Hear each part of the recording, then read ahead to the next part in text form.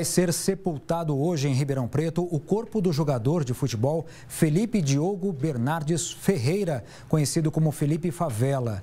Ele foi atingido por vários tiros.